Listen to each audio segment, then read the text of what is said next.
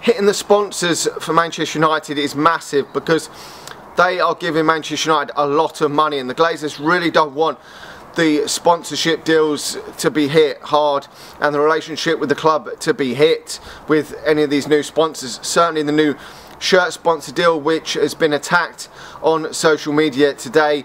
The ratings have been absolutely bombarded with negativity from angry Manchester United fans and Aon also has been attacked which is the sponsor of the training facility. So that is great to see Manchester United fans voicing their opinion there. Long may it continue. We'll do more videos if and when these protests are actually going to be confirmed to be happening.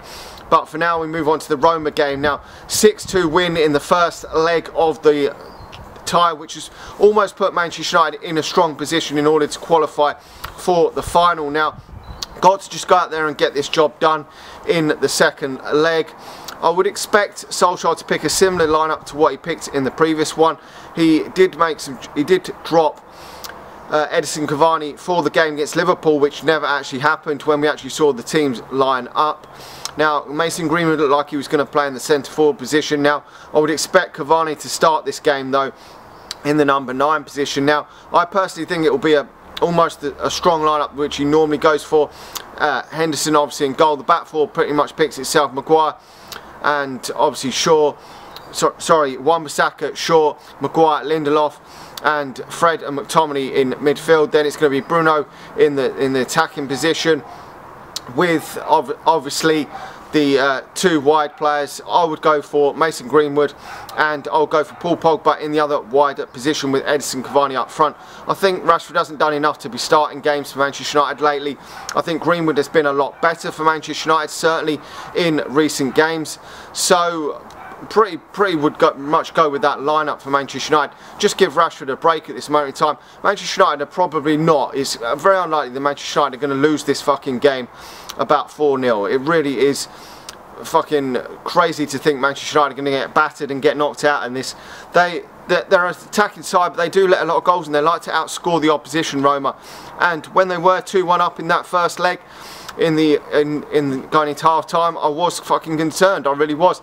I didn't expect Manchester United to play as well as we did in that second half and we really did put them to the fucking sword in that second half. I thought even if Manchester United got a 3-2 lead in that second half I thought that wasn't wasn't a very good result to take to Rome but getting five goals in that second half really did put them put them to bed I believe and I do believe they're vulnerable at the back. I mean, Mike Smalling at the back there, we know he's not good enough. That is why Manchester United ended up getting rid of him in the end. He had some good moments for Manchester United, but ultimately not good enough anymore to be playing for Manchester United, and we saw that in that first leg.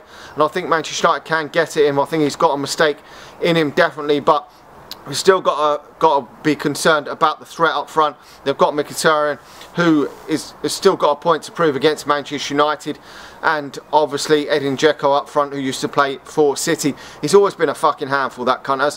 Whenever he's played against Manchester United, he's always scored. He's an old school centre forward and just likes putting the ball in the fucking back of the net and he could be a threat but I think if Manchester United do play with the pace, uh, certainly on the counter-attack if these do come and attack Manchester United. I think Manchester United can really get at them and swat these aside to be honest, I really do. I think that we could go there and score a few goals. I think this is going to probably be a high scoring game, a bit like the first game for Manchester United. And if we're, if we're comfortably winning at half time or even if we're sort of 1-0 up in this game, we're not going to go out there and lose this game. So I would like to see a couple of younger players on the substitute bench, maybe give Amad a chance. He probably does deserve one to given a given a role in in this in this sort of game maybe bring him on at half time second half something like that. I'm not too sure that he's going to start this game. And the other one that probably does is starting to more deserve a chance now is Shoretire he's got eight goals in his last eight games for the under 23s and two assists in that. Since turning 17 he's really changed in the under 17s to become one of if not the star man in the under in the under 23 team now, I wasn't convinced when he was playing for the under 18s at the time because he was only 15 playing for the under 18s, so I wasn't really sure last season whether he was going to be the elite level player. But now looking at him this season, he's been very, very good, scoring some very good goals and does look like a very good prospect for Manchester United. Hopefully we can see him fucking get some minutes between now and the end of the season. I doubt he will play in this because he just played on Monday night against Derby in the under 23s, the full game. But hopefully, if Manchester United can get through this unscathed and get victory in the next Premier League game at the weekend, hopefully we can see him before the end of the season along with Amad. And who knows if they could scrape a place on the bench for the final should Manchester United secure that spot in this game. I do think Manchester United will get through. I think the pace on the counter attack will be enough to see Manchester United get through this. I think they are vulnerable at the back. We're still a bit vulnerable at the back, but I think our attacking prowess can get us over the line.